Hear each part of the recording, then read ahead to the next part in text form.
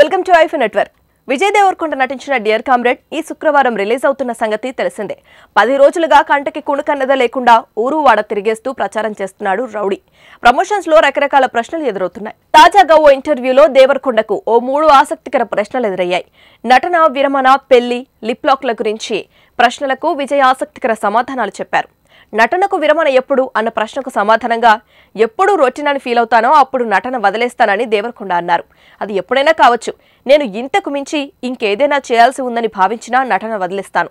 పరమ రొటీన్ అని bore feel అయినా వదిలేస్తాను అని అన్నారు.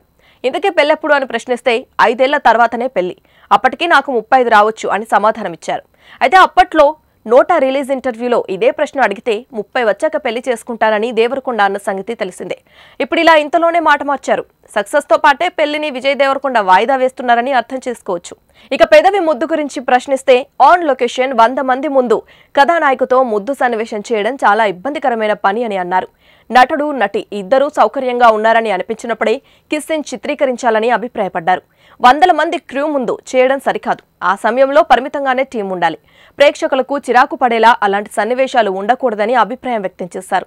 తాను నటిస్తున్న హీరో చిత్రంలో ఒక్క ముద్దు సీన్ కూడా ఉండదని కథ డిమాండ్ చేయలేదని వెల్లడించారు. Hi guys, this is Niharika Konirala. Hi everyone, I'm Nandini Rai. Hi guys, this is Priyanka Jalkar. You're watching me on iFi Network. Hi నేను మీ మధునందన్ హాయ్ అండి this is Aadi Sai Kumar Hi, this is Mishti Chakravarti.